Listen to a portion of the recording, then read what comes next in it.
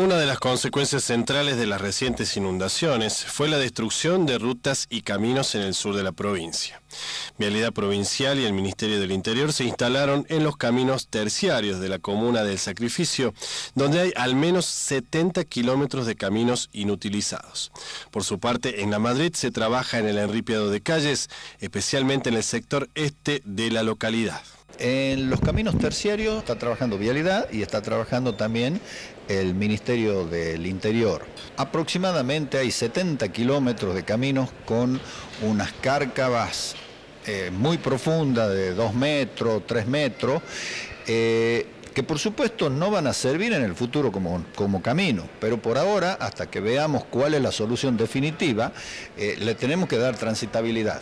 En la zona de la Madrid, ahí se están haciendo enripiados. Entonces, ahí está trabajando el Ministerio del Interior conjuntamente con eh, Vialidad para darle transitabilidad primero para, para que eh, le lleguen los servicios a las viviendas que hay ahí y, por supuesto, en breve tiene que salir la producción. Los caminos vecinales y productivos deben ser reparados en lo inmediato porque nos encontramos en la etapa previa a las cosechas de las producciones más importantes de la provincia.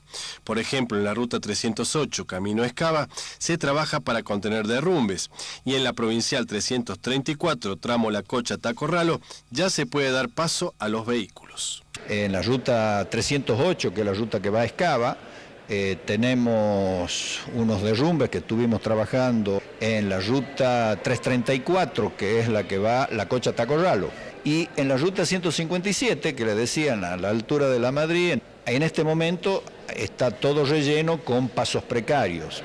Ahí están previstos hacer alcantarillas, Vialidad ya ha llevado caño de hormigón a la zona y apenas el clima lo permita empezamos a, construir. Por supuesto, también hay otras rutas que, tenemos inconvenientes a raíz de, las precipitaciones intensas que hubo en, la zona de Burruyacu. Lo que pasa que eh, no ha sido tan grave como en la zona sur.